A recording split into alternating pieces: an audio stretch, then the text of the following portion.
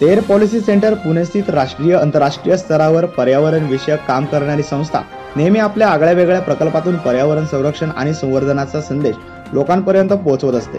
नवीन वर्षात शालेय विद्यार्थ्यांमध्ये पर्यावरणासाठी जनजागृती करण्याच्या हेतूने तेर पॉलिसी सेंटर आणि सिमेंटक या आंतरराष्ट्रीय आय टी कंपनीच्या वतीने पिरंगुट पुणे येथील राणी लक्ष्मीबाई मुलींची सैनिकी शाळा येथे द लास्ट कलर हे ध्यास पुणे या संस्थेच्या वतीने श्रीकांत प्रभाकर लिखित दिग्दर्शित नाटक झपाट्याने नामशेष होणाऱ्या वाघांच्या जीवनावर आधारित कर- सादर करण्यात आले.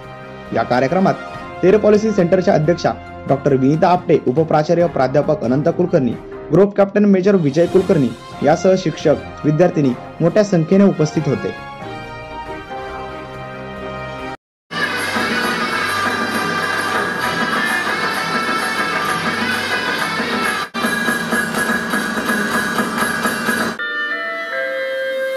लक्ष्मीबाई सैनिकी प्रशाला आणि तेर पॉलिसी सेंटर यांचं एक वेगळं नातं आहे. दरवेळेला कुठलाही पर्यावरण उपक्रम मुलांच्या व- लेव्हलला राबवायचा असेल तर तेर पॉलिसी सेंटर आणि राणी लक्ष्मीबाई सैनिकी शाळा हे उत्साहाने उपक्रम राबवत असतात.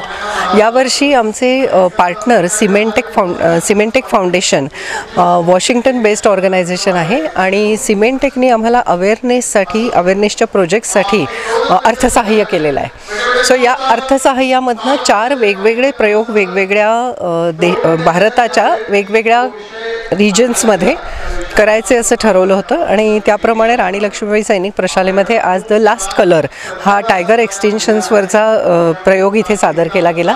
श्रीकांत भिडे यांचं लेखन संकल्पना दिग्दर्शन असलेला हा प्रयोग म्हणजे वाघांची ही आत्मकथा आहे. आणि या आत्मकथेमधनं मुलांना फक्त मुलांना किंवा इतर कुठल्याही रसिकांना सर्वसामान्य लोकांना याच्यातनं प्रबोधन जास्त होतं. मनोरंजन हा एक विषय आहे पण त्याच्याबरोबर प्रबोधन करणारं असं हे नाटक आहे. आणि हे नाटक बघून जास्तीत जास्त लोक वाईल्ड ॲनिमल्सचं जतन करायला शिकतील अशा अपेक्षेसह आम्ही हा अवेअरनेसचा प्रोजेक्ट राबवतो आहोत. वेगवेगळ्या शाळांमधनं ह्याचे प्रयोग केले जात आहेत आणि तसेच देशपातळीवर हा प्रयोग आम्ही राबवणार आहोत. यासाठी मला मुख्यत्वे सिमेंटेक फाउंडेशनचे खूप आभार मानावेसे वाटतात. कारण कुठलाही कार्यक्रम करताना जर अर्थसहाय्य नसेल तर हा आपण कार्यक्रम ब- प्रोजेक्ट राबवू शकत नाही. आणि सिमेंटेक फाउंडेशनची ही सामाजिक बांधिलकी ही सर्वात महत्त्वाची आहे. धन्यवाद. नमस्कार. मी अनंत कुलकर्णी उपप्राचार्य राणी लक्ष्मीबाई मुलींची सैनिकी शाळा. शाळेमध्ये हरित प्रकल्प हे मुख्यत्वाने खूप चांगल्या पद्धतीने चालतं आणि हा हरित संस्कार महाराष्ट्रातल्या सगळ्या ग्रामीण शहरी भागातून मुली या ठिकाणी शिक्षण घेत आहेत. सैन्य प्रशिक्षणाबरोबर हा हरित संस्कार हा संपूर्ण महाराष्ट्रभर जाणार आहे. तेर पॉलिसी सेंटर याच्यामध्ये प्रामुख्याने गेले अनेक वर्ष राणी लक्ष्मीबाई मुलींची सैनिकी शाळा आणि तेर पॉलिसी सेंटर या माध्यमातून काम एकत्रित काम करते. ज्याच्यामध्ये सैनिकी शाळे शाळेमध्ये चालणारे हरित प्रकल्प मला सांगावेसे वाटतात ज्याच्यामध्ये वर्मी कंपोस्टिंग त्याचबरोबर एक झाड एक मूल असे वेगवेगळे प्रकल्प या ठिकाणी चालतात. सॉलिड वेस्ट मॅनेजमेंट आम्ही आमचंच या ठिकाणी जे क्रिएट झालेला जो कचरा आहे तो चांगल्या पद्धतीने जिरवतो आम्ही आणि त्यापासून खत निर्मिती करतो.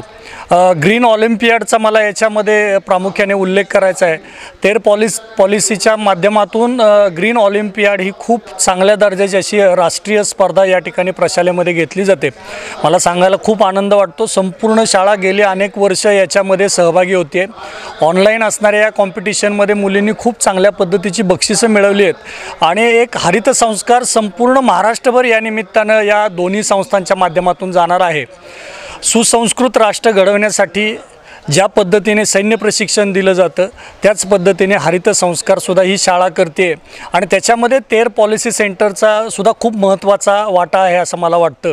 मी group captain Vijay Arvind Kulkarni commandant Rani Laxmibai मुलींची सैनिकी शाळा कासर आंबोली जवळ आहे आणि पुण्याच्या जवळ आहे. आमची शाळा साधारणपणे तेवीस वर्षा जुनी आहे. आणि सगळ्यात जुनं सैनिक स्कूल आहे हे मुलींसाठी. इथे आम्ही उत्तम प्रकारे अकॅडमिक्स ॲज आणि मिलिटरी ट्रेनिंग या दोन्हीचं कॉम्बिनेशन करून मुलींना सक्षम बनवतो. आज एक छान नाटक आपटे मॅडम यांनी यांच्या एन जी ओच्या थ्रू प्रस्तुत केलेलं आहे. आणि खूपच छान प्रमाणे त्यांचं आंतरराष्ट्रीय दर्जाचं नाटक आहे. आणि खूप आमच्या सर्व शाळेच्या मुलींना सगळ्या कॅडेट्सना सगळ्या टीचर्सना आवडलेलं आहे. आणि अशा प्रकारचं अशा प्रकारचं नाटक प्रस्तुत केल्याबद्दल आम्ही त्यांचं कौतुक करतो आणि त्यांचं खूप खूप आभार मानतो.